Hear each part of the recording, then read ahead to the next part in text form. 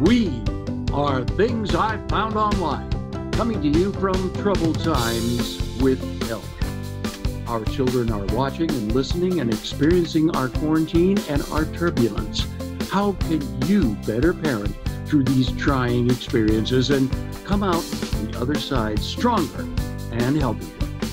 I'm Jamie Alcroft. Joining us is parenting coach Katherine Saltzberg, along with fantastic parents Linda Brown, James Schanzer, and our own producer Dina Friedman, plus a man who was almost fully raised by parents, Danny Mann, and our host Louise Palanker. Wheezy. you, Jamie. I'm a work in progress. My mother is not about to give up. Um, I too celebrate the heroic efforts of my own parents. In my opinion, the most important thing a human can do is raise a child relentlessly. Parents are making on the fly, in motion decisions regarding what to say, how to say it, what to allow, how to react, how to explain, policy, implementation, chore wheels, etc. All of which impact the heart and soul and mind of a developing person. That is difficult enough when things are normal. Things are not normal. Jamie, Dina, Danny, how are we explaining our current reality to kids and young people? How are you doing it in your lives? Wow. No, you have to be as honest as you can be. And I don't mean to qualify it with as you can be. You just have to be honest. You have to tell them what's happening. I think the words that you choose are very important. I hope uh, Katherine would agree with me on that. Uh, It's, uh, yeah, I think the words that you choose are important. You say people are not uh, going to put up with injustice anymore. And injustice means when things aren't fair, and you bring it down to to their their culture, their current culture, whatever age they're at. My kids are all grown up now, so it's it's a different thing. But that's how I helped them go through the riots. When the riots of '92 happened, I mean, you just tell them what's happening. You tell them the truth. 9/11, you tell them what's happening. You tell them the truth as you know it, and uh, and just you do it gently. How about you, Dina? Yeah, I completely agree about being honest. I think as a parent, you have a natural instinct to protect your kids from things that you deem painful or difficult and topics that are not easy to talk about. Um, but I don't think that that's the right way to go in this situation. I think you have to be honest with your kids and explain it to them and answer any questions they might have and do that to the best of your ability. I just want to read a couple of um, perspectives that I got from two people that I know that are parents. The first person, her name is Sarah. She says, Today I used words with my four and seven year old kids I never thought I'd be using in a conversation. Words like murder and racism and brutality. I felt it was important for them to not not see color, but to see color and to see that there's a whole race of people who are coming from a lifetime of struggles and pain. I took I told them a white police officer murdered a man of color by kneeling on his neck for almost nine minutes until he died. My seven-year-old asked, but the police officer went right to jail, right? And I explained to him that he didn't. The police officer killed someone and wasn't put into custody for a few days after that. Only after people of all colors took to the streets to demand justice. My seven year old said he should have gone straight to jail. He can't do that. Even my seven year old had more common sense than grown adults. Well, you still have to explain to your child that there is a criminal justice system and there is a process. As heinous as the crime, we don't lynch people, that we don't have a vigilante squad go and get someone and and hang them from a tree. We we go through a process when bad pe- when bad things happen to Right. innocent people. So I, I hope that stuff came up earlier in the day. That's not the stuff you want to read them as a bedtime story. And I don't be, I'm being glib, but I'm also being like, I think that's a key yeah, thing I as, mean, to, look, there's as, to, as to when you meet this information out to kids. Right. I mean, th- I don't think that there's any like ideal time to have this conversation. I think that as a parent, you know, you want your child to be you know, in a decent mood, in a good mental space where you can sit down and you know, like, you know, when your kid is cranky, you know, when your kid is like too distracted, um, and you know, when they're in a receptive place where they're going to listen to what you have to say and take something from it. And it's not like I've had lengthy conversations with Ryder where I know he didn't understand a lot of it, but I wanted to kind of start planting those seeds.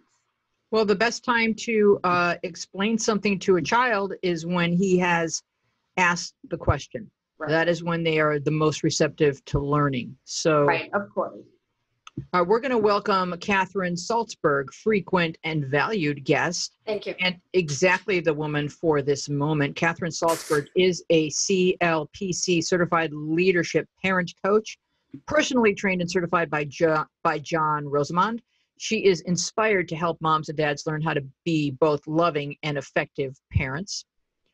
So let's get into this, Katherine. What are you hearing from parents and what issues are they particularly needing to address in this difficult time? Well, you know, just to dovetail on what you just said, I would never tell a four and a seven year old voluntarily. I would never recommend that. You know, are you also telling them about uh, everything else that's adult as well? you know are you talking about your taxes you're talking about your corporate you know or you, there's this I, I i i understand the why behind this but to just cut to the chase we feel a need to what really burden children when they're not asking we, we have the tv on all day anxiety is one of the most contagious emotions out there mm-hmm. you know i had a mom say to me I was explaining to my daughter, so is she asking you? 12 years old? No, 12, so not a little child anymore. But she said, My daughter's very anxious. And it was clear that the daughter wasn't anxious. I, I don't talk to kids, I just talk, talk to the parents. But it was the mom's anxiety and this pressure that she needs to make this child understand I don't want my kid, God forbid, my or heaven forbid, or Darwin forbid, that my kid grows up to be a racist. There's a lot of anxiety, I have to tell you, with the parents that I coach. I want to make sure that everything, the, the ducks are in a row, and that's a very different freight train running through somebody than, you know what? Let me just calmly tell you what's going on in the world if you ask me. Mm-hmm. I'm going to now that, have a dream tonight about ducks on a freight train. So, well, my, I, four, what, my four-year-old, my four-year-old does my taxes, so we. Yeah. so, oh, I, does he, I'm with them too. But but I, Kate, I, yeah, but Kate, yeah. um, mm-hmm. before before right now we're very preoccupied by the the protesting and what's yes. happening in the streets. But yes. cut to a week ago, children haven't been in their normal lives for for three months, and so what right. what types right. of questions are you getting around that, or what types of issues within families? Because this is mm-hmm. very experimental. Well, right now, you know, I think every day about, and I think a lot of us do, and uh, especially as a parent coach, and I'm sure I any I'm not a mental health professional. I'm, a, I'm I try to help people hopefully have you know better mental health by having well-behaved kids and getting parents to be more relaxed. But just worried about what's going on in homes right now. You know, there's is there abuse happening? I mean, I think there is abuse happening, and that's that that's off topic. To answer your question very directly, the, what's going on with the parents that I speak with is there's you know, um, it's a boundary issue. So if you if you don't know how to draw any boundaries when there's no pandemic, you don't. You're certainly not going to be able to draw them when there when there is one. And what I mean by boundaries, just um, a parent getting a break. You know, just saying, I, I I need five minutes to myself. And parents today, especially moms, don't really feel like they have a right to take a break uh, or to have five minutes to themselves. It's going to damage their kids' self esteem or they're psychologically they'll be damaged. And so there's parents that call me and say how can i just get a break? You know so i'll give them very concrete ways to take a break things they can do today to take a break.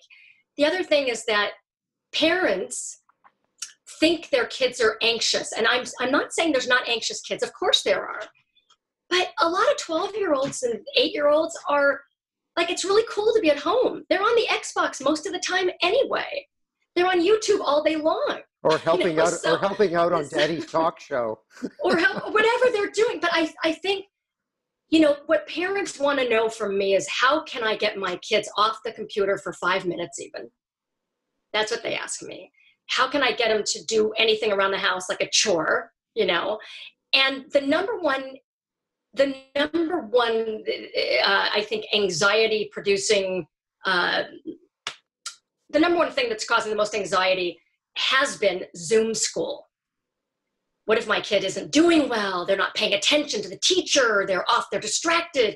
So you have a lot of parents micromanaging their kids at the computer, and that causes kids a lot of anxiety. Most of this, the kids are doing, I think, pretty much just fine.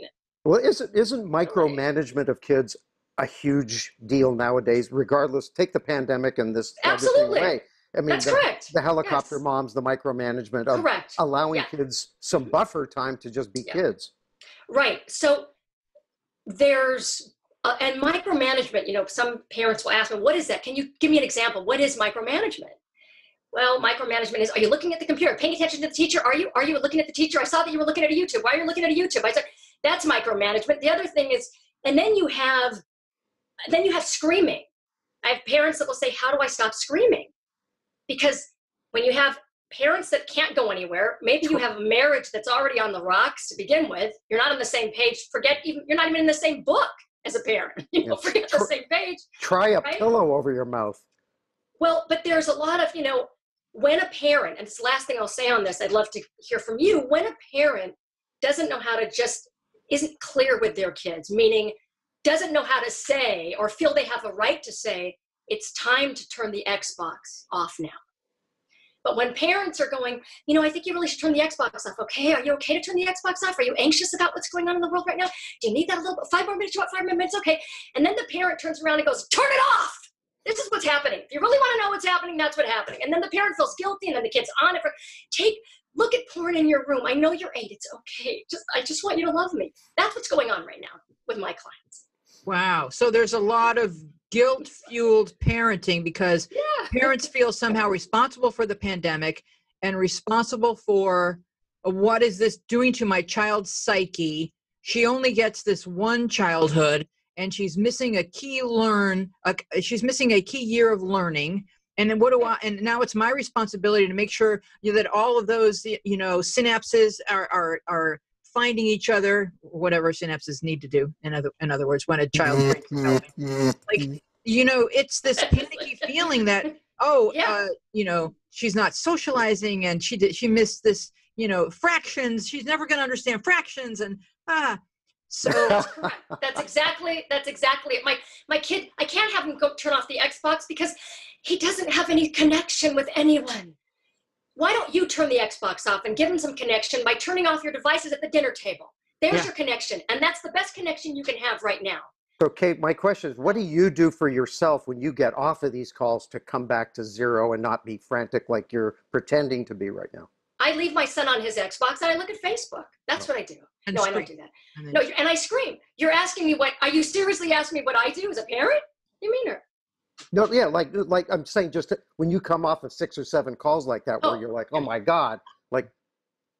Oh, I no, I I I coach the same way that I want parents to parent. Oh. And what I mean by that is I don't want parents to be thrown off balance by their children. Because children need parents who know exactly where they stand. And they need parents who are very relaxed or who or who are acting relaxed. So, you know, the best thing that I can impart to mom or dad is one is I do have parents, let's say they're in support groups, 12 step groups, and I say, you have to keep that going. Whatever you are doing outside for your self care, you need to keep that going. It's very important. But the thing, the, the forget your kids doing well in school, even. I'm not saying it's not important, but the better for you to be relaxed and look at your kid and go, you know what, you're going to do just fine enjoy your classes to the best of your ability. I have complete faith in you that you're going to just you're going to do fine. Yeah. Also I, you know i think you, you know a thing to maybe remind parents is that children go on learning whether or not they're in school or in this structure. Their brain is continuing to observe the world and make connections and and and, and develop reason and develop a point of view and develop abstract thinking that's not stopping. You haven't put them in a bunker underground to to wait out the holocaust you know? Um, they're they're still amongst us. So it's Yeah. don't feel so much go ahead jamie you had something. I was going to say don't feel so much pressure that it's all on you. They're still learning. Yeah, I, I was just going to say consider it a semester off. Uh, you know, if, if I had children uh, that were in school right now, that were that age, that's that's how I would do it because I have time to experience things with them, and we can still get in the car and go someplace and stand out in the middle of the field. We can go Yeah. to see the poppies, stand out in the middle of the field. You don't Yeah. have to stand in a group of people. You can go to, you know, a remote somewhere and and have adventures and and uh, just or have adventures around the house. Just you know, it's a semester off. Period. Just and the kids, like you said, Louise, are going to learn, learn, learn, despite what we try to do. And true story, a friend of mine, Stan Ostern, did live three years underground in a bunker during the oh. Holocaust. Wow. He's a doctor. So your kids your kids are gonna you're gonna they're gonna be okay. And I think what's more important than like what what knowledge is actually entering their head is do they feel safe? Do they feel loved? Do they feel connected? Do they feel a sense of purpose? Are they a contributing member to the household that makes them feel good at the end of the day, like they, they did something productive or positive? That's, I mm-hmm. think, what what you should be focusing on. In Yeah, fact, you could do I- my I'm get- job. Wait, there you go. That's why we filled, made out this 200 question questionnaire for the kids to fill out, and we're going to review this at the end of the day. Um, now let's go straight to our, our Dina cam. Now, Dina, you know, you are live, you know, you are um, embedded with the Friedman household. Can you give us, yes, can you give us a report or how, how are things going on the ground there? I mean, things could be better. I'm not gonna lie, um, but I think we're doing okay. So what? So I wish that I could just tell Ryder like you don't have to do any school for the rest of the year, but there's a basic minimum requirement that he has to fulfill in order to like go on to fourth grade. Um, Oh, there's a basic minimum requirement you have to fulfill. well that that Ryder has to fulfill that I have to like make him do. He's pushing back like nobody's business. Like he does not he has never been able to wrap his mind around the fact that he has to do school even though he's home. Like he thinks I'm home, school is canceled, why do I have to do work? Oh, and I hate making him do things. I'm like I'm a permissive parent because I I know the feeling. Like I grew up in a very strict household, and I know how awful it feels to to feel that powerlessness. That like for some reason adults are telling me to do something. I don't know why. I don't like it, and I hate that I'm being forced to do it. Um, so I know Katherine, you whenever we talk to you, um, we have a discussion about kind of involving the child and the family with like chores and making them feel like they're a part of the family, like kind of what the uh, what the family like basic like how what am I trying to say? Um, like meeting the needs of the family, right? Um, and I'm kind of wondering what I can do to kind of make them feel like we're all like making our contribution. Like his contribution might be just to do his work. Um, it could also be like a certain chore or something, but I kind of want to make him feel like he's not being forced to do something. He's doing like we all have our little part to do, and just this is like his part. Uh, thank you. First of all, I really appreciate your sensitivity, you know, to your son and that you grew up in authoritarian, right? Authoritarian home. Yeah. And we've,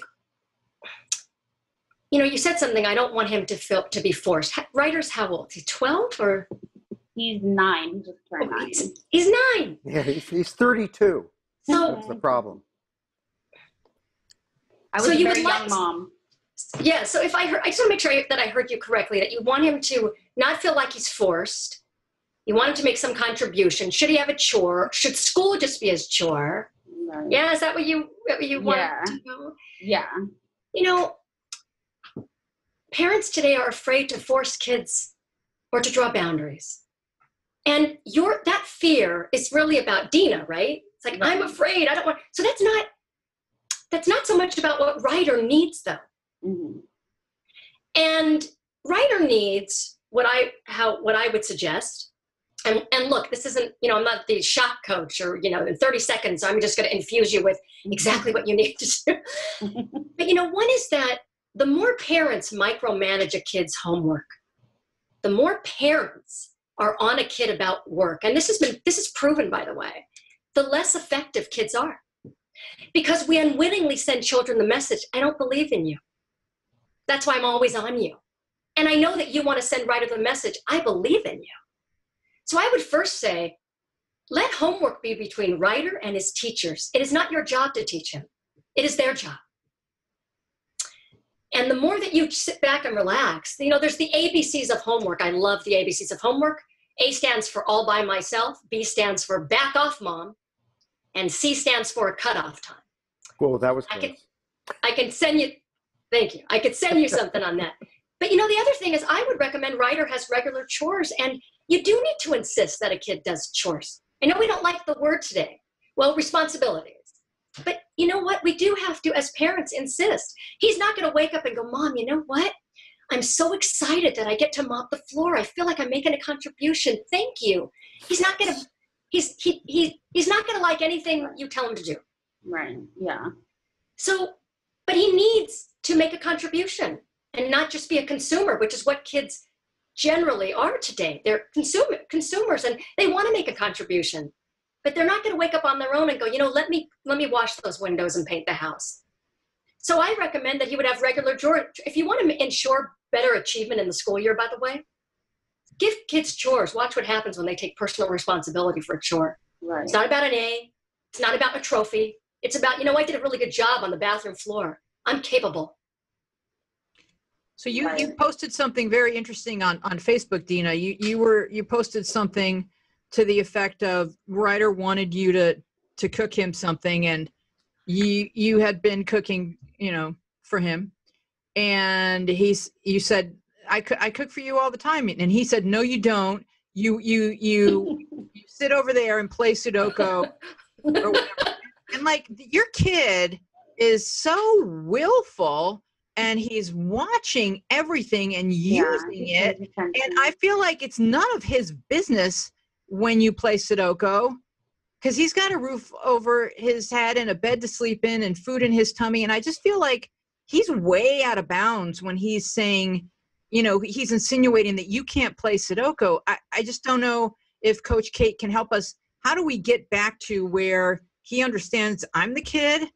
right. Are we are we about to vote Ryder off the island? I just it's a one kid household. That's why you know what I mean? Like it's a one kid household. Yeah. Those are interesting. Sorry. And this is something that Dr. Kate, she has a lot to say about um, the idea of not being like, you're not your kid's buddy, right? You're not like best friends with your kid. You're a parent and you need to kind of occupy that role.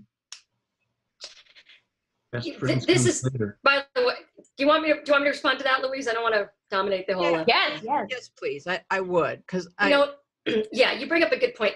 Dina's job is really hard, and, and it's not the problems that Dina's having are the, they're ubiquitous. So, and it's really simple to change this, by the way, but it's it's not easy, right? So you know, simple but not easy. You've heard that before.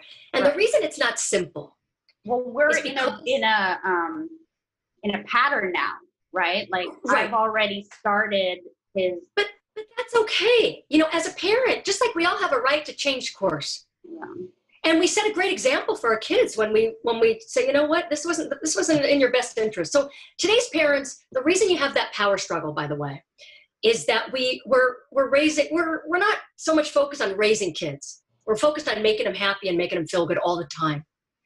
So because the parenting paradigm shift a while back it went from anything traditional is horrible and a lot of it let's okay a lot of it's horrible but come on a lot of it was pretty good. Parents you know i say this a lot women did not have a, a, lot to do in the 50s let's say in the workplace but they had no problem telling their child don't don't look at don't speak to me like that. And they weren't all flogging their kids you know? So this just happened it's again everything comes down to boundaries and it, ha- it all emanates from you dina. So when you decide no pressure well you know something? It just it's a practice like anything else. Right. wake up in the morning and you practice you know cooking or practice yoga whatever you're practicing you go you know what? I'm going to pull the plug on the power struggle. I tell parents one thing do one thing. So when your kid says you don't cook for me and you turn around and defend yourself this is not your spouse it's your kid. So you now have put your child in a position to argue with you because you open the door. Every parent, but most of them will say to me, My kid's argumentative. I say, Nah, there's just a parent who's opening the door to the argument, generally speaking. So if he says, You know, you never cook for me, yeah, or, or you're not cooking what I want. What was it? What did he say exactly again? You're not. Oh, he's just like a smart mouth. So yeah. he was saying, um, I was like Ryder, and I was kind of like half joking. I'm like, I feel like all I do all day is cook meals for you because since he's home all the time, I was doing a lot more cooking. Um, and he said, "Mom, that's not all you do. You also he listed like you do Sudoku, you um, watch ASMR videos, and like like he just like listed the things that I do." And then I was like, well, "What about?" And so we're having this like back and forth, and it's like kind of it is kind of playful. Like I'm like, well, what about like I work and I homeschool you? And he just kind of was like, whatever. But it's kind of like, where do you draw the line, right? Between like being playful and being yeah. like. So I can, mm. I can respect I can my authority. So you're not going to have him. He's not going to respect your authority. It's not going to happen. I'm going to let you know that right now. Okay, I believe you. you I, I'm just, I'm, I'm sorry that's really painful, but you have a nine year old that you're trying to reason with and defend yourself against. You have put him in the position. It is not your fault, by the way. And it wasn't my fault with my older kids. It was what I was told by parenting experts who have had, as I say, way more schooling than I ever will. And a lot of them have wonderful things to say. Be empathic, be empathic. But don't let your child talk to you like that. But no one, none of them tell you what to do about that. Hey, Kate, a question kind of for you yes. and Dina is Please. is yeah. what I haven't heard discussed here at all is the balance between the father and the mother with the kid. And I, Dina, I don't know your whole situation, but mm-hmm. in it in the in the parents that you talk to, and maybe in Dina's case, there's a certain amount. I know there's that that thing about being on the same page about it, and that the parents being in agreement and being able to counterbalance. So there's a three way discussion, not just two against one or one against one. So okay. I, I'd be interested to hear you guys address either your situation about that or just in general. I'll, I'll speak to that in 30 seconds. Parents are not on the same page, haven't been for a long time. The reason is that mothers feel it's their responsibility to very much produce the child in a way. In fact, they are so afraid of dad coming in and drawing any boundary that, and I, I mean just a dad coming in the room going, put your toys away because your mother said so. Mom will come in and run interference like nobody's business. That's been going on for many, many years. Don't talk to him like that. That's the old and, wait till wait till your father gets home. Well, you know, the wait till your father gets home wasn't wasn't so much that mom couldn't handle it. And I, you know, that example always comes up, but it was really just we're going to let you know, buddy, that where you're where you're concerned, we're on the same page. That was to the kid's benefit. A kid can relax when he knows wow, I'm, I'm, I'm, my parents are on the same page. I don't have, it's not my responsibility to figure out how to play one against the other. That dog don't That's fight. correct. That's correct. That's exactly correct. So, but it's again, it's that women feel this, they're so, I was that way. I'll tell you something. I used to laminate things for my husband to read, to, you know, when I, the kids were little. And when he would talk to my older son a certain way, Dean, I know you know what I'm talking about. When he would talk to my son a certain way, I would just be so anxious I mean, if I would, you know, don't talk to him like that. Really, he needs, you're not sensitive to his feelings. Well, my husband you know, wasn't always sensitive to mine. So. I don't have. You I, lam, you laminated? I did. I, I, I'm, I'm telling you. I, listen, I'm in like. Case, in case it, in case it fell in the pool. no, what I mean. Well, my, listen, most people read stuff in the bathroom, so. Oh, okay. Can, I, I, I laminate yeah.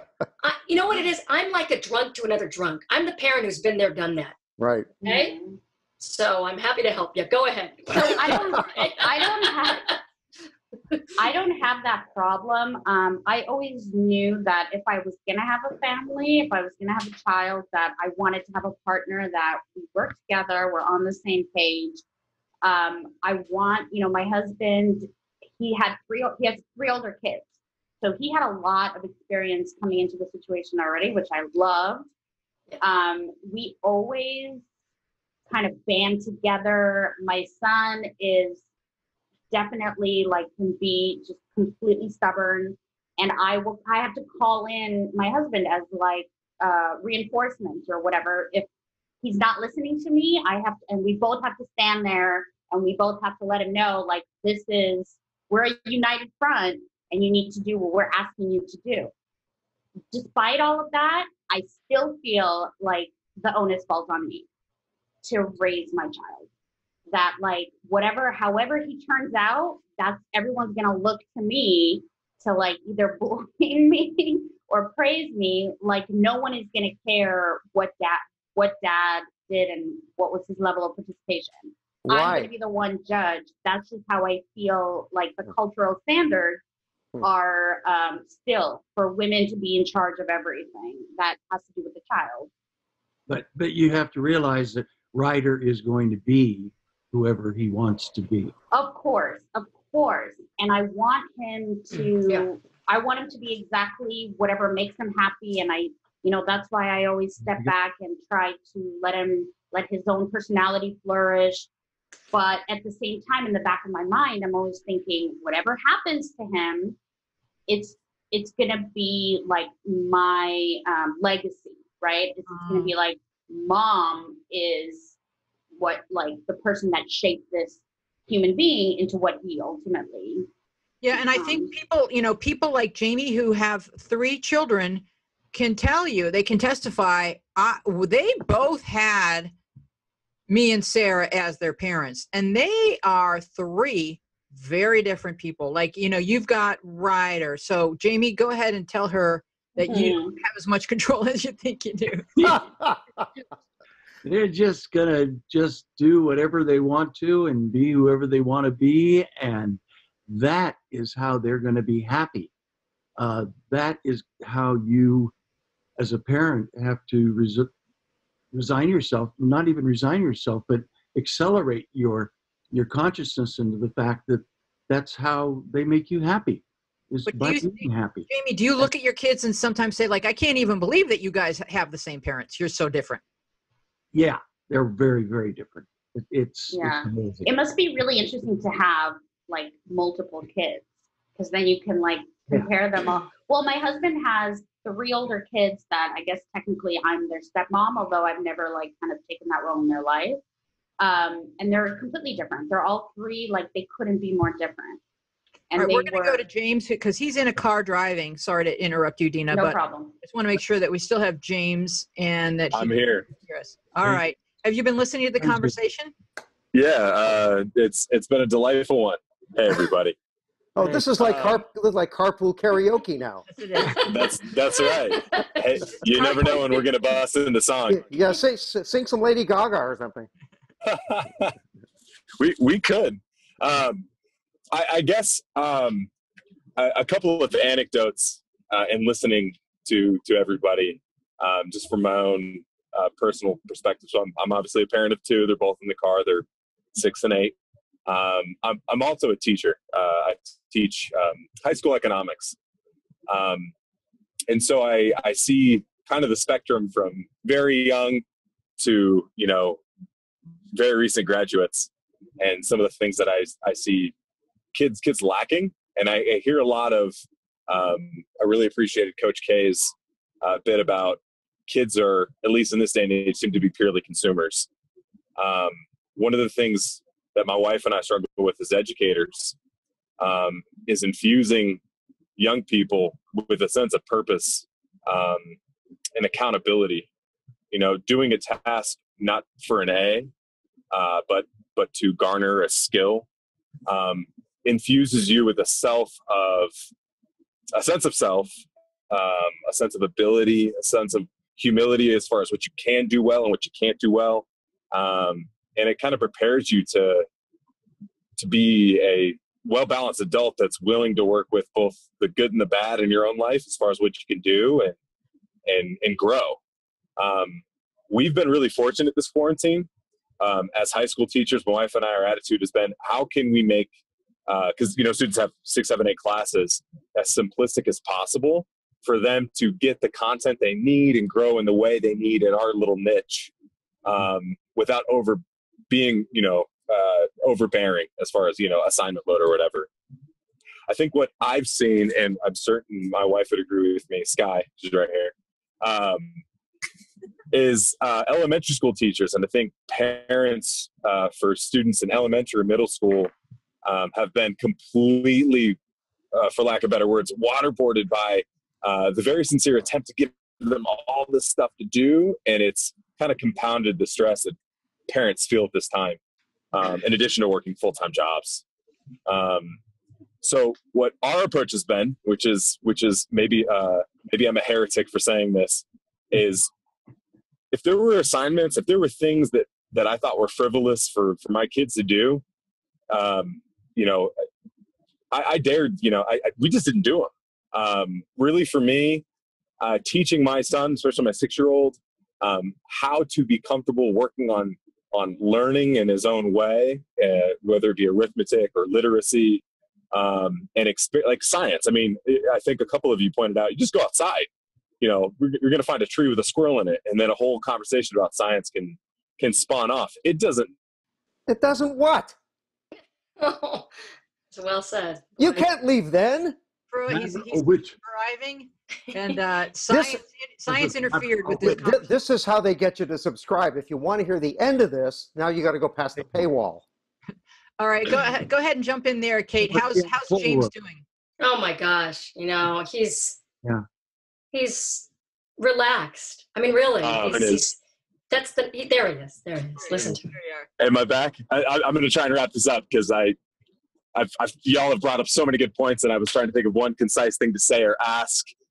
Um, I guess what I what I'm getting at is, um, as as parents and as teachers, understanding your purpose and and where you're like you we just talked about this like my kids are not me and they're not my wife and we're trying to we're trying to foster people that are going to be um, well-adjusted adults that'll that'll contribute to society, mm-hmm. um, and you don't need to put so much pressure on yourself, except to be present and to think about what it is they need in that moment. Because they're experiencing growth whether you want no matter how much you want to control it all the time. Mm-hmm. um, yeah so I, we've simple we've, we've we've we've been super simplistic and just being present. Be off your technology questions will arise. They'll hear things and they'll ask uncomfortable questions. Um, that presence and sim- that simplicity of presence and consistency in that presence has been what I think has made our experience quarantine really, really enjoyable. I think we've all grown from it.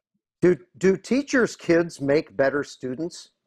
Oh, you know that's that's a great question. Um, uh, what I find anecdotally is it goes one of two ways. Uh, they they either because um, in any profession, uh, you guys are all um, far more tenured than I in your respective professions, but that means older. I, was, I was being very political there. Uh, He's looking at you and me, Danny. Yeah, really. I feel I feel really tenured today. I'm trying to. Yeah, I'm playing up. Um, I feel so tenured. I need a nap. I had a great one today while driving through New Mexico. Um, it goes it goes it seems to go one of two ways um, you know i they're either feeling really entitled like my mom's a teacher or my father's a teacher and you know you you don't know what you're doing or or or they tend to be really really diligent really hardworking really open-minded just delightful kiddos um, mo- mostly the latter Mm-hmm. Do you have, do you or Sky have any kind of like little problem areas that you would just love to run by by Coach K while you've got her here? Sure, Sure. So, so uh, speaking of having, uh, you know, a couple of kids, my daughter and is is that kind of type A. I love school. I love the structure. So the first couple of months, what we had to do as far as a balancing act is we were trying to figure out how to keep it simple and, and meaningful and and as relaxed as possible, um, but giving her something to, to you know get traction with life. My son, on the other hand, um, I think it was like week two because uh, our last we had spring break early, and that was effectively our last teaching day in office was March sixth. Mm. And um, oh. oh yeah, we've been at this a while. So I think wow. it was like two weeks into it. My son goes, "I love this new life we're in," and and he's much he, he he finds ways to keep himself busy. So I guess my question to, to Coach K uh, and, and really the panel would be, you know, what are ways you have multiple kids um, and a career to balance? What what it, it, in layman's terms, what are the three most effective things you could do from day to day just to keep yourself grounded and moving forward in their growth? I think you probably hit on a few of them, but maybe maybe we can just recapture that. To keep them grounded and moving forward in their growth. Yeah, just as just as um, just as young people growing up you know, because, you, know, you don't have the signposts of school. I think what James is saying is like, yes, don't have the signposts of school, mm-hmm. the curriculum that they're navigating. It's mm-hmm. it's all. Even though we're trying to be chill about this, it's yeah. still that James and Sky are getting like it's all on us here. You know, the number one thing I would tell parents first and foremost is have them read books. Every book you have, turn off the electronics. That takes courage for parents today to do that. Mm-hmm. And you know, kids love to ask questions about their parents. Do you remember that? Like they, Jamie, I bet you remember that, that they want to know about your life. And I think it's the best time is around the table with a meal, and parents have to turn off their devices. You know, it really does. It starts with you, mom and dad, turning it off. And I, I know that you're, James, I don't even, I don't think for a moment that you are, you and your, I know you and Sky are not going to hold on. Let me just see if I have a Facebook like. I know you're not doing that. So but parents have to have to really make a concerted effort to turn off the devices and allow those conversations to happen. You know, when they say, I want quality time. Well, how do you know when quality time is going to show up? so, you know, I, so I'd say that, and, and I think that chores, you know, daily, consistent chores that you do with your kids. And, and if you don't have any time, give them doable things that are simple and just acknowledge them, you know, for that. But I really think, and or pr- projects, we have we're going to plant a garden. Projects are great. You're a teacher. You know all that stuff. So you know that's hope that helps you somehow. i think one one one little tip because it's it's easy but it's profound is um, eye contact. I you know i think parents are busy and and kids are busy and you go through your day and you're tossing off remarks and like where's where's my socks? And you know you're running past each other. But like meaningful eye contact where a shared moment where you know you look at your child and you both uh, find the same thing amusing or you both find the same person you know that you see in public, you know, a, a, you know, a little aggravating or whatever, just a shared moment where let's find your socks together. I, don't, I, don't, I don't mean that, Danny. I just mean let's not even husbands and wives. Let's not forget to look at each other. Yeah, it's very important. And James, I, you have two two kids now, two children. Yes, sir. Yeah, that's great. Well, uh, with, with, with two kids, you can uh, work a man-to-man defense. But if you have another kid, uh, you're going to have to go to a zone defense. Yeah, it's got to go zone. Duly noted. Becomes, I, I, had three kids, and we were, financially we were not uh, uh, as well off as we would have liked to have been. And I, I called all three of them into the room one day, and I, I said, uh, "We're going to have to tighten our belts.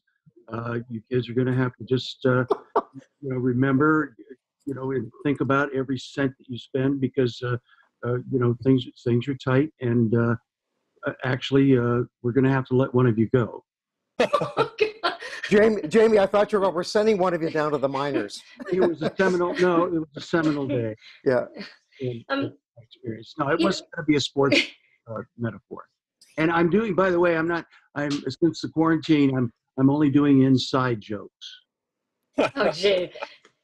Uh, Louise? Yeah. Because you're inside. Would it, be, would it be all right if I responded to something Dina said and something that Jamie had said?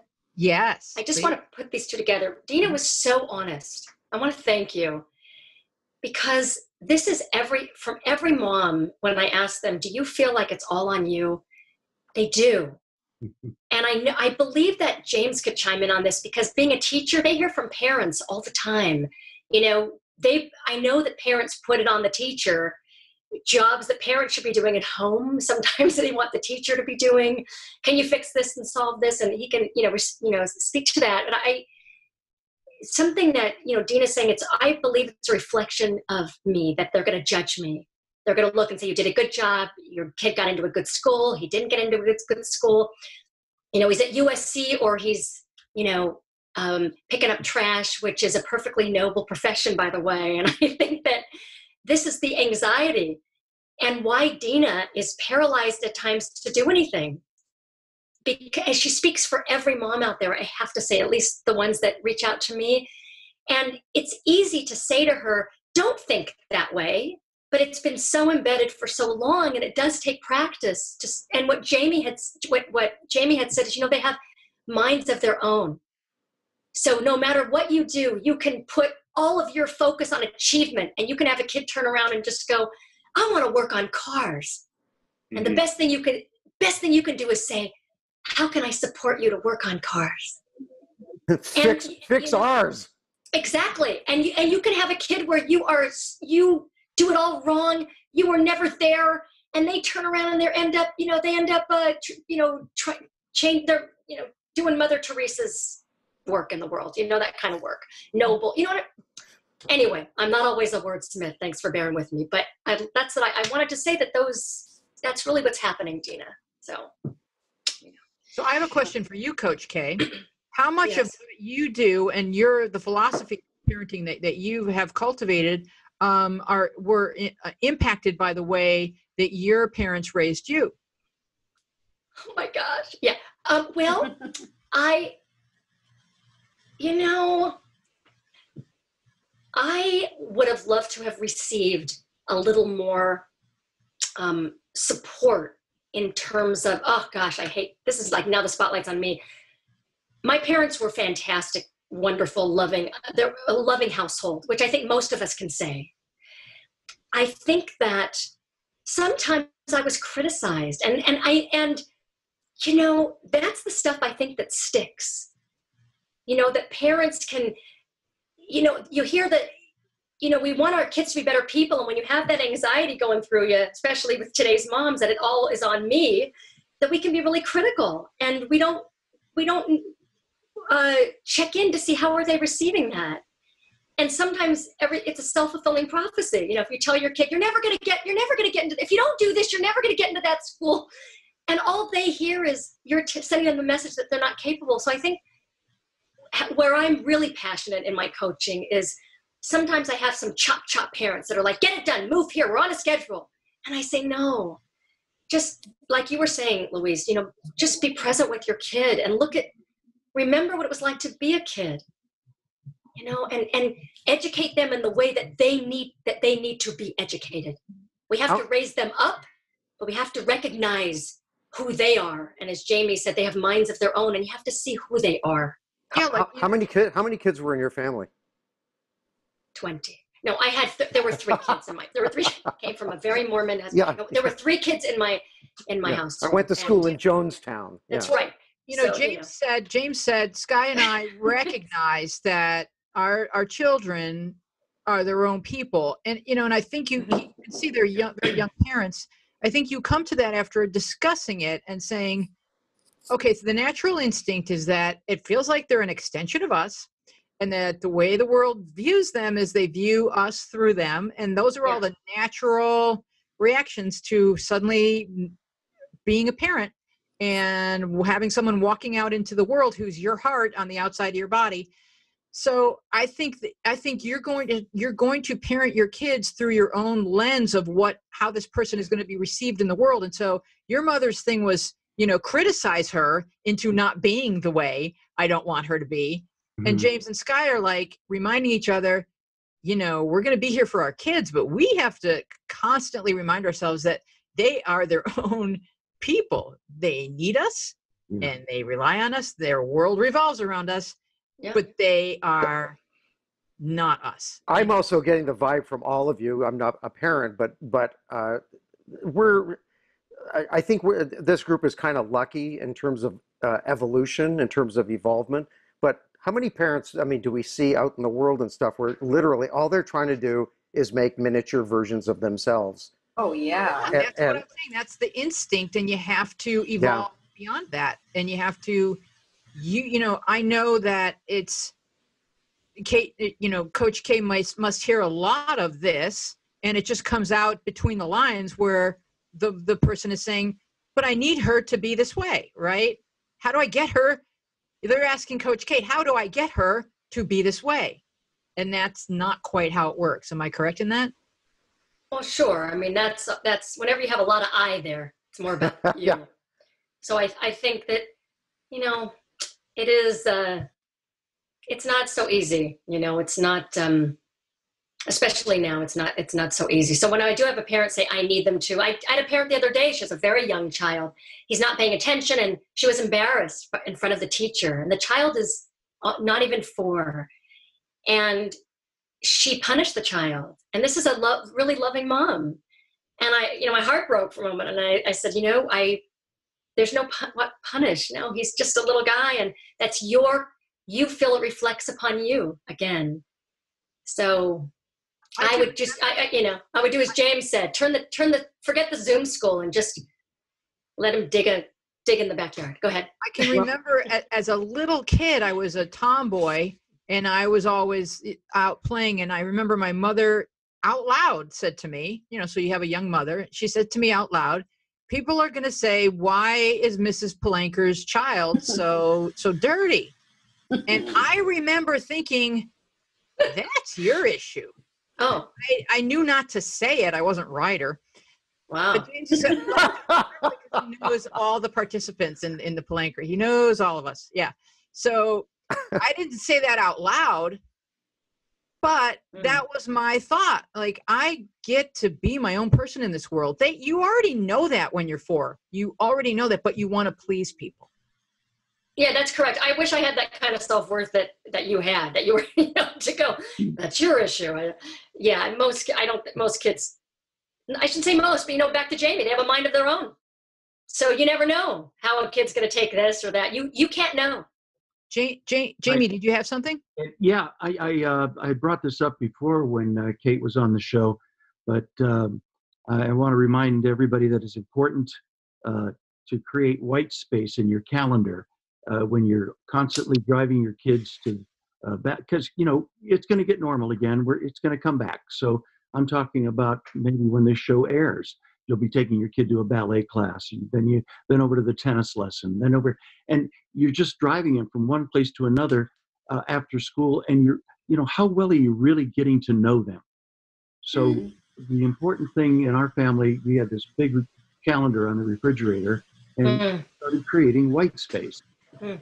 just where we were doing nothing but being together and it looks like james has created some white space with his family on uh, a road yeah. trip.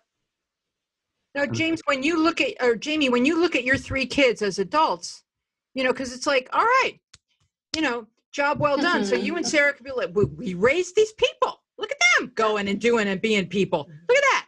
So, I, I, Tracy, picked up the the new uh, Entertainment Weekly magazine.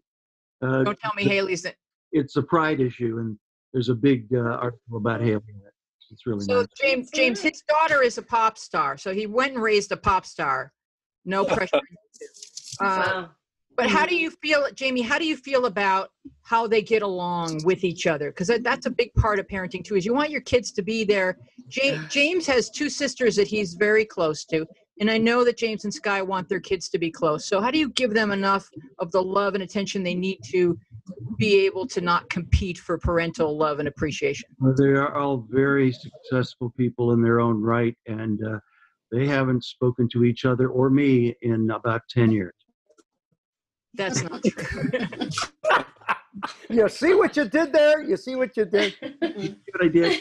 It, it, it's, um, you know, it's just respect I think it's it's learning to respect them for who they decide to be, and uh, when they show a talent for something, you want to encourage that talent, but that may not be the talent that takes them to to their dream.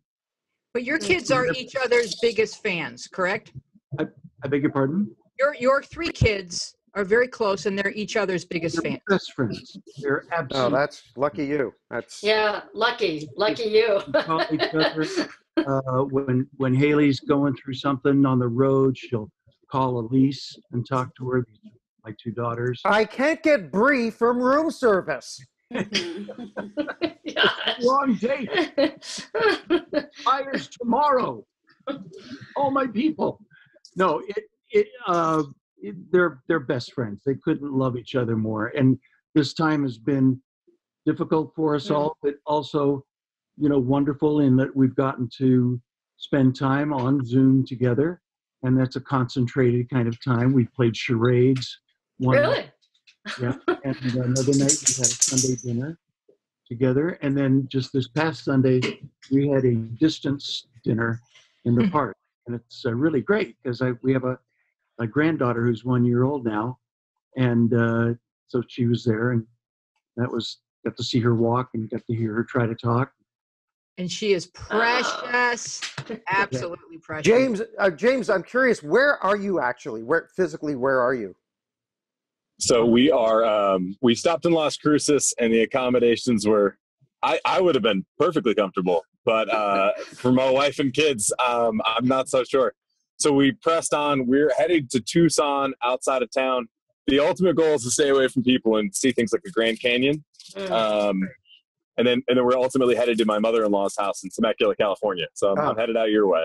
Nice. Oh yeah. Come, Cool. So where, where do you where do you live? Where are you coming from? So I live in the Dallas Fort Worth area, Oh. south central to both of the cities, uh, in a little town called Man. Well, it's not so little; it's exploding. Um, called Mansfield. Yansville. James, if you want to head up to Santa Barbara, we can do some backyard distance dining.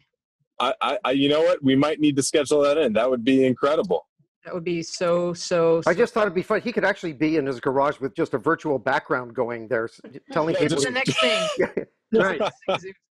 Yeah. All right. I want to. Do we have any any closing questions for Coach K before we uh before we close out the show? Anybody have any any unfinished business?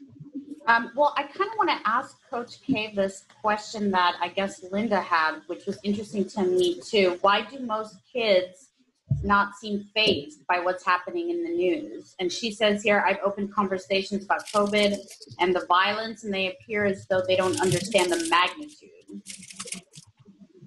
They don't understand the magnitude. It's huge. It's too big.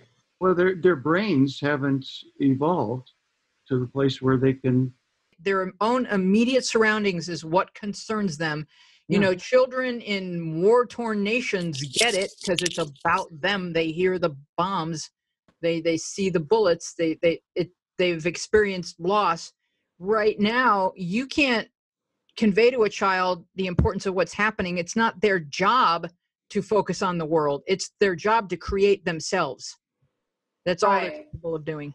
I guess that like some parents, myself included, feel like it is our job to not hide what's happening from our children. Answer what is asked. That's They it. also think if they play video games or have seen movies, depending on the age, you can go, remember that movie so and so? This is kind of like that. You know, if you if there's a reference point. you don't have to i mean if you if you remember 9-11 i mean who had small children i mean you only tell them the basics. A plane flew into a building. Unless they ask the next question don't tell them. They'll find out soon enough what happened. They don't need to know at five. I, I do have a I do have a client who was explaining to the, a teenager, 14, explaining what's going on and showed a vid, wanted to say, look what happened at the riots. Reginald Denny wanted to show show their child, and the boy got very very angry, but he wasn't angry about the injustice. He was angry that he was being shown that he wasn't ready to see it he wasn't ready to see it. So I got to say that, that this is not that this is better to focus on how can I be a better parent in my own parenting than let me make sure my child understands things that they are not ready to understand. We are burdening them with that. And I, I I'm saying that with every fiber in me. And, and, Don't burden them with that. and coach k please. can i also mm-hmm. say it, it's on the internet constantly it's not just on tv but what happened to to to mr floyd is everywhere i don't want a child looking at that well, that comes to parents being able to get some filters and they're afraid because they don't want to think they're, I don't want my child to think I don't trust him is a big thing I hear. Well, you don't trust him. Do you trust him? Can you trust yourself a lot of the time? You know, but my, I don't want him to think I don't, well, that's not honest. I'm just, I'm no, just, ha- I'm having a, a, a tenured flashback of when, when I was uh, taken to see Diary of Anne Frank at uh-huh. 12, at 12 or 13 and you weren't. Wait, Weezy, Weezy, can I jump in for a second? Sure. Uh, I'll put my video on. I uh, I just want to say, I think I've been listening to a lot of this, and I hear a lot where people are, you guys are coming from, but I don't think we have the time or the privilege to not address this stuff happening now.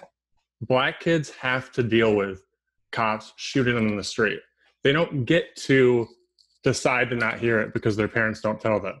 They have to deal with it. So why shouldn't we have to deal with it? Interesting point. I'm just, I, am sorry if I'm angry, but no, no, no, no. I, I hear you. I, real. I, I hear what point. you're saying, Lane. But at what age do you tell them that that that yeah. someone's life was snuffed out right on a streak uh, it, you know well, it, it, i feel I, know, I hear that and it's it's that's the tough conversation but but we're doing it we're right. killing these people our police are killing these people but the children have we, no control and i, I know they don't but they're they're they're part of the system the child that's growing up now is going to be a black teenager that gets shot dead tomorrow right they have to be aware of what is happening and we have to do everything we can to make sure it doesn't happen when they're adults. All right, let me ask. Let me ask uh, James. I don't know if your your kids can hear this end of the conversation, and if they uh-huh. can, you can pass on this question. But I, am wondering, like, it with with a six and a four year old, what they know about what's going on today. So uh, let me frame it um, as a parent and then as a teacher. So Mansfield, um, just for a little historical context, a little extra flavor, is the last district in America to desegregate. Wow. Um, today, yeah, yeah, that's a, that's a badge of honor, right? Um, my student body is 40% African American, 24% Hispanic, 25% white, uh, the rest other. Um, I have, there's a large first generation African American, like their parents are actually African immigrants. Um, being so close to South Dallas, um, that is, uh, think of South Central LA. Uh, it's a tough part of town. Um, most of my kids grow up well, but but as I mentioned, forty percent of them are you know young black men and women.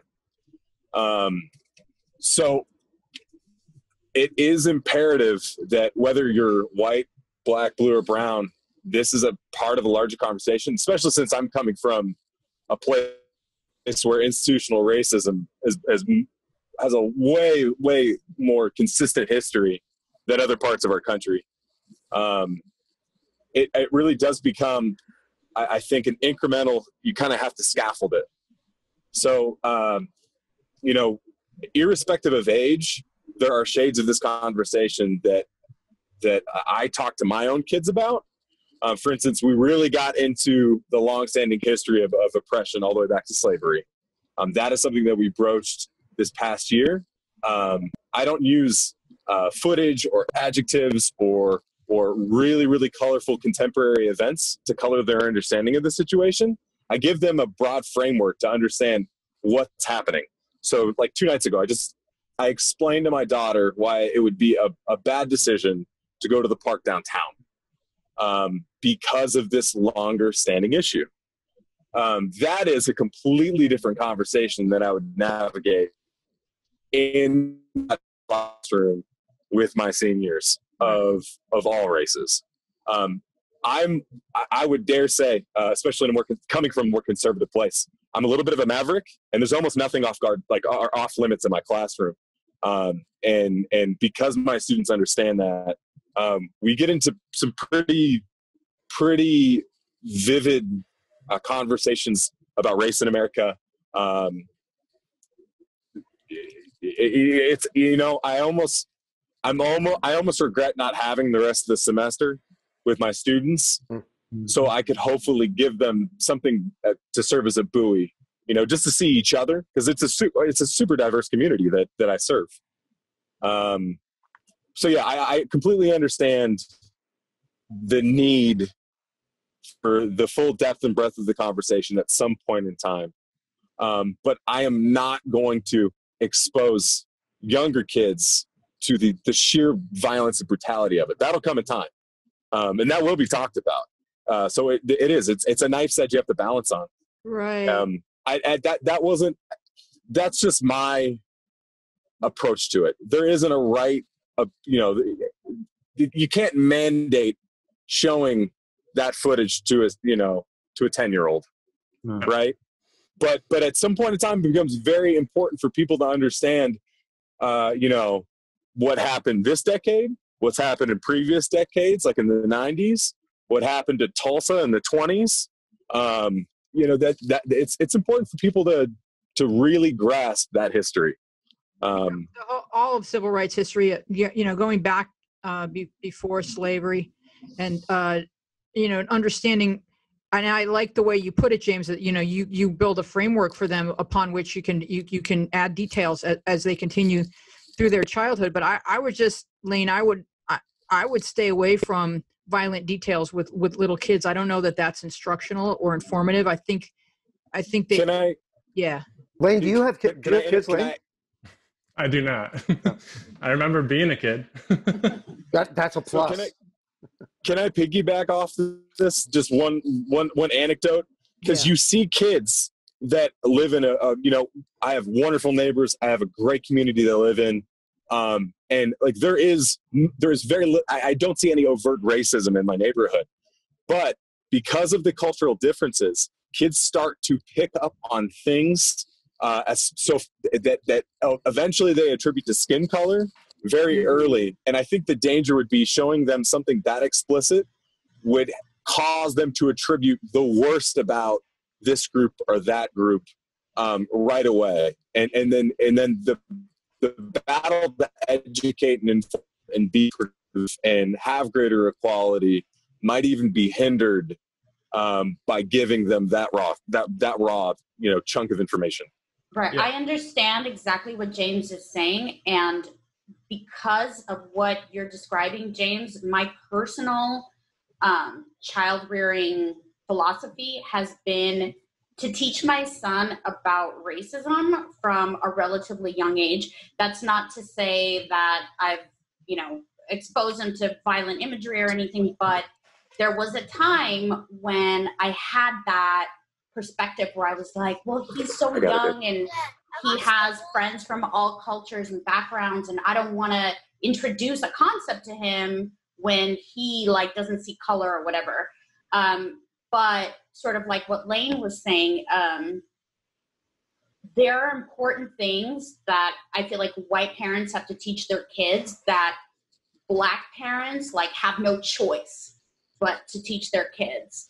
And when you start, I think when you start telling your kids from a young age about the history of oppression, you give them, a, like you were saying, a framework to understand the current situation, the current culture, current events, then you can kind of introduce things um, well, as they get older. One of the built one of the built-in traps in that whole thing, which you're saying, I believe, I, I agree with you, is that no, no, every parent is is exposing their kid or teaching their kid about this based on their own set of values and their own prism. Sure. So they're all getting different stories based on what they believe and what they think the kid should believe and so uh, it's the, the kid ends up being a product of that so well, yeah. well my dad fought in world war ii and he he liberated camps and he saw some things that he mine too. he was concerned that the the world would not believe him so he had a, a brownie camera with him. He documented everything and he kept those pictures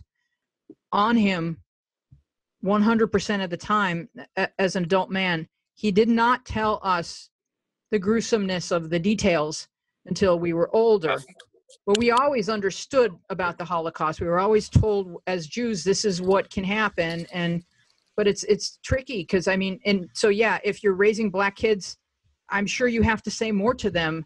My dad was raising Jewish kids and he felt like this is something that this is this was something that happened in our lifetime to to Jewish people. So yeah, I, I, understand your passion, Lane. I really, really do. I think it's all of our responsibility, I, not just the yeah, person. Yeah, I'm just, I just think we are in a very precarious place. And I mean, you know, I, I see a really big parallel between uh, the images your father got heroically on his brownie camera and the images that protesters are getting on the street.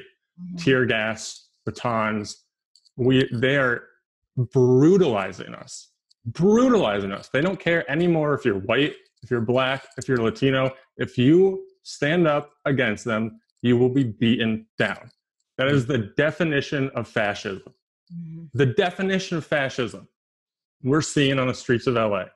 Yes. So there's not there's no more time for half measures. We have to stop it now. I know, but we're going to lose this country. I I, un, I understand. I don't think a four year old needs to know. No, and I'm not. I'm not saying that a four year old. I I wouldn't advocate for showing that photo at all. I'm just saying that there there's a certain point where, if you have a four year old, I really feel for you right now. I feel for James right now because his kids are coming up in a very scary time. But hiding what is happening in some sense, and I think James is onto something in a really real ways you show you tell them in ways they understand. You don't traumatize them but you let them know that hey there are really big things happening. You know it's just like i, I had a heart surgery when i was 10 mm-hmm. i remember my parents sitting me down and telling me that you're going to have this surgery. You could die. This could happen. But they said it in a way they didn't scare me any more than they needed to. But it was something that i was going to experience.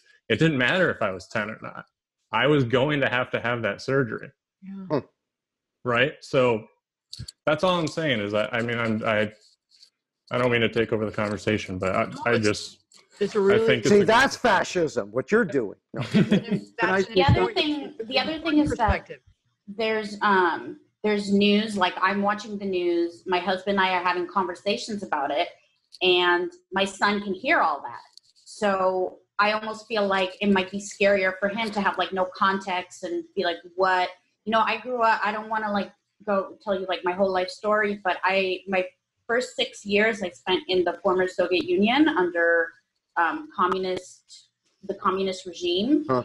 And I clearly remember my parents always having these conversations that seemed really scary, but that I couldn't really grasp. And it was sort of like, it was a way that, that um, you know, the, my formative years were like frightening because of my lack of understanding.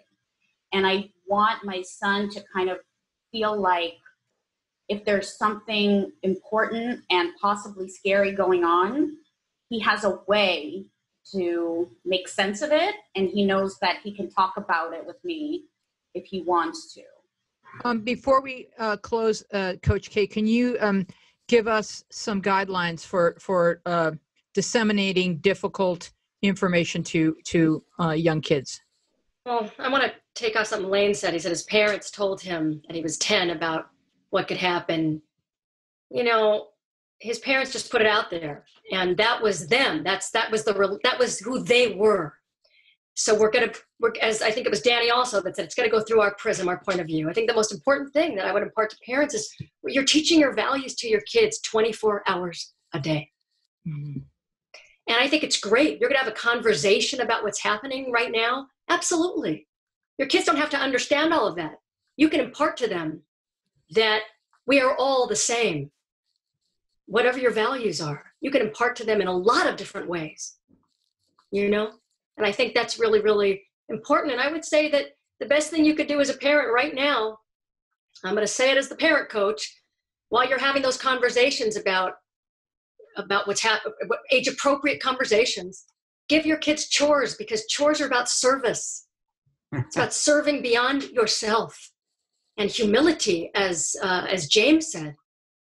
That this is about how do we serve others and, and, and are there for others and kindness you know, and we, kindness like kindness yes world where, where, people are yes. marching because others right. haven't been kind and we need to be kind to one another right you know you just said it what you just said was you could how can you go to a neighbor with a mask on and do something for them? Can you go to a soup kitchen with a mask on with your kids if it's appropriate? And do, what can you do to serve? And if it's with other with with people who are not in your circle, if you're going to you know go down to the the the, the black church or this or the African American church, my friend Dari says I'm Belizean, so it's okay. But to serve others, to get right down there and serve others. Mm-hmm outside of you. You know, anyway, there's a lot of ways to do that. Lane makes very good points. So. I love that. I love all of you. I want to I want to thank our guests, Katherine Saltzberg, James Schanzer. Our panel is Danny Mann and Jamie Alcroft. Our producer is Dina Friedman. Our tech team is Thomas Hubble, Lane McFaddin, Michael Tellep, and Francesco Demanda. Our sound mixer is John Maddox. Our webmaster is Bill Filipiak. Our theme music is The Coffee Song by Louise Palanker and John Maddox. I am Louise Palanker. Safe, be well, be kind. Thank you.